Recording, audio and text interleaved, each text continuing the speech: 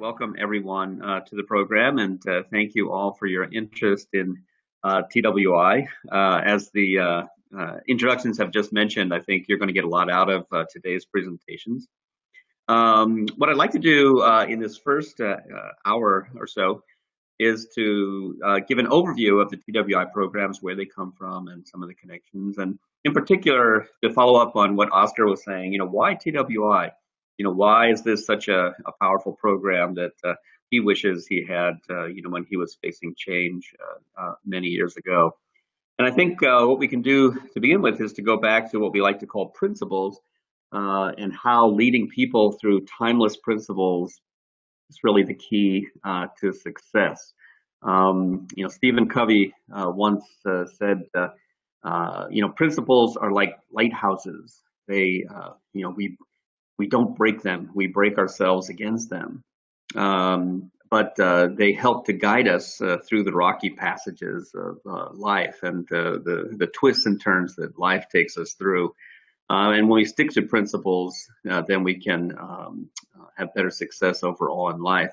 But he also, Stephen Covey also said there are three constants in life, and that is change, choice, and principles. We've already talked about change. Uh, Oscar pointed that out to us or as they, they like to say, you know, the only constant that we have in life is change. So that's something that we have to deal with. But we also have two other things. We have choice. We can choose uh, our response uh, to those changes. And when we make choices uh, that are based on principles, principles are things that don't change. They stay constant uh, through millennium. You know, then we make uh, better choices. And so what we're looking at uh, uh, in terms of facing the challenge of a future ready workforce is what are those principles that can guide us through this change? And I think um, you, all of you listening would agree that one thing that employees get discouraged with are, you know, what we call flavor of the month jingos and programs. And, you know, we take them through the next uh, popular thing that will uh, hopefully guide them forward but it just turns out to be a disappointment. And that's because we haven't focused on timeless principles that you know hold true um, throughout uh, throughout generations, throughout the millennium of mankind.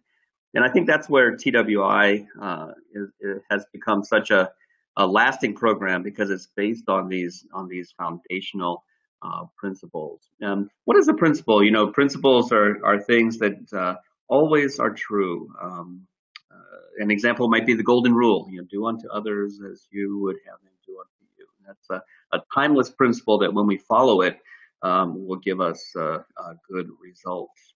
Um, things like that uh, which guide us. And so let's take a look at what those, uh, where TWI comes from and what kinds of principles it's based on. Um, you may know that uh, TWI was uh, founded during World War II. Um, and that was a case you know, where um, they had uh, an inspiration, you know, to uh, create uh, leadership programs because uh, we knew during the war that all of the manufacturing uh, would for the war, you know, the, the ships and the airplanes and the guns and the tanks and bullets and uniforms and so on, that manufacturing would have to take place here in the United States to supply uh, the armies around the world. Unfortunately, though, all of the men and they were men, you know, who were working in those shipyards and factories, uh, uh, went to the war, and they had to be replaced uh, uh in in in the majority of cases uh, by women, women who had never had any job at all, much less a job in a factory or a shipyard. And of course, that's where you know, we get the famous uh, history of Rosie the Riveter. Um, but the founders of TWI knew, the people who were running this wartime production knew that they would have to take a different approach than was traditionally taken in terms of how we treated uh, people coming into the factory. They needed uh, basically uh, a program that was founded on solid principles, principles that work every time, that would inspire dedication from this new workforce, you know, in a very difficult situation, and also, of course, create those results. And so basically, they needed to build a leadership program that would strengthen teamwork and guide them through these uh, changes. Well, jump forward to the end of the war. It was a huge uh, success, a fantastic success.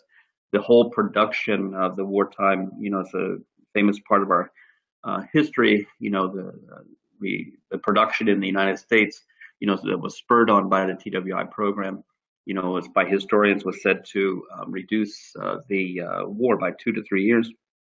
And as you can see, um, just take a look at those results that we have here on the screen. It was an incredible success in, in all aspects. And it was such a success um, that after the war, um, it was uh, introduced uh, to uh, countries all over the world, um, but most uh, famously uh, in Japan. Uh, the Americans were in the occupation time in the in the early 50s, and General MacArthur brought um, TWI, you know, along with other things like Dr. Deming, famously Dr. Deming went to Japan, but also TWI. Um, and uh, it was embraced by all of the Japanese companies, Sanyo, you know, where I worked, um, but uh, famously at Toyota, uh, Taiichi Ohno was looking to uh, develop uh, his uh, to, Toyota production system, which was founded on um, standard work. You know, we had the pleasure. I was in Japan um, in December of late last year with some TOA colleagues, we had the uh, opportunity to meet Mr. Kato, who is the, the TWI uh, trainer, actually the, the head of all training in Toyota, but in particular TWI. And he told us some stories about how in the early 50s, Taiichi Ohno understood that he needed to get takt time, but he couldn't manage that because he did not have standards in the workplace. And so he struggled mightily uh, to understand how the work was done and to develop standards. And um, he said that when TWI came in, you know, then it was then and only then that they were in, able to really grasp a hold of getting control of standard work. They had a way of writing it down. They had a way of understanding it and passing it on to other um, people. So TWI was a, a, cornerstone in the development of, of standard work, which, as you all know, is really the foundation of what we call lean today or Toyota production um, systems. So what is TWI? Um, if we go back to uh, the early, actually the early part of the last century, um, uh, in the early days of the um, Industrial Revolution, um, people were looking at what does it take to be successful, you know, in a manufacturing setting. And again, this was the early days of the manufacturing of the Industrial Revolution, and they said that supervisors basically would need have five needs. Five needs, including two kinds of knowledge and three kinds of skill. And you can see this on the chart here. Um, of course, uh, you know you have to have knowledge of your work. You have to understand your business and um, uh, what it takes to get done. And as a supervisor, you have, as a member of management, you have to understand your responsibilities, the rules and regulations, the organization chart, and how things work, and so on. And these two kinds of knowledge would have to be learned locally. Um, every industry has their own uh, aspects of work. Uh, every company or organization has its own model for rules and regulations and so on. So those things would have to be learned locally. The skills, on the other hand, were universal. And these skills included things, uh, three things. Skill in instructing, you know, we'd have to be able to instruct and train our people to do the work. Um, and look at this next one, uh, skill in improving methods, how to do work better. Um, this is what we call Kaizen today and oftentimes thought of as a something Japanese, uh, there's Japanese word for it. But actually we were thinking about this uh, going back uh, uh, to World War II and, and before that. Then finally, uh, skill in leading, how to lead people and create motivation and dedication for work. And then there was a common element to all of these things. Um, there are five needs, but the common element to all of them was safety. We had to do them in a safe environment. So what the TWI founders did then, since um, the uh, knowledge pieces had to be learned locally, but the skills were universal, they came up with a, three training programs, one for each of those um, skills that would be needed by supervisors to lead the workforce and they created three train uh, three uh, what we call the JAKE programs. So in turn for the skill instructing, they created the job instruction training program. We're going to hear more about each of these programs as the day goes on. Let me just give you a, I'm just giving a general overview at this point. You'll get much more details um, as our program goes on throughout the day. But the job instruction training program was developed in order to um, create a well-trained workforce by getting people to quickly uh, remember to do jobs safely, um, correctly, and conscientiously. And uh, then the, in terms of the skill and improving methods, they created the job methods training program. And that was a program that was developed um, to um, help uh, supervisors uh, work with their people in order to use the resources that we currently have today, the manpower, the machinery, the methods, and to be able to do it better in order to create uh, more quickly, better quality products in less time, you know, by using the resources now available. So we'll talk about how that gets done uh, later today. And then finally, uh, in terms of skill and leading, they created a job relations uh, training program.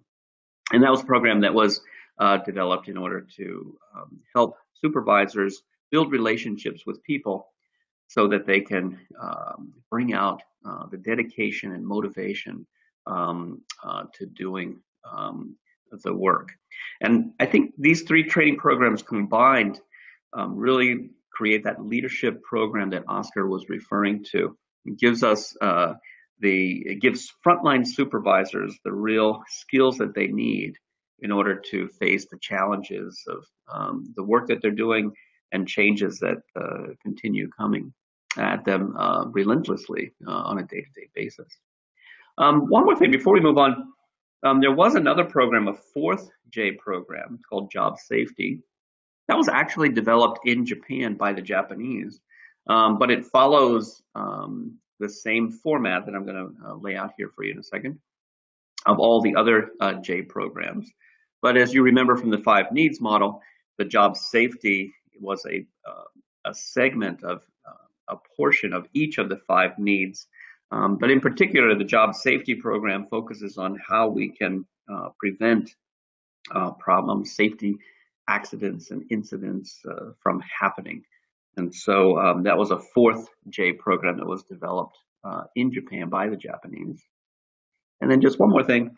Um, after the J programs went to Japan in the early mid 50s, the Japanese uh, government actually asked the TWI trainers at the time if they could help them with an issue that they were having, which was problem solving.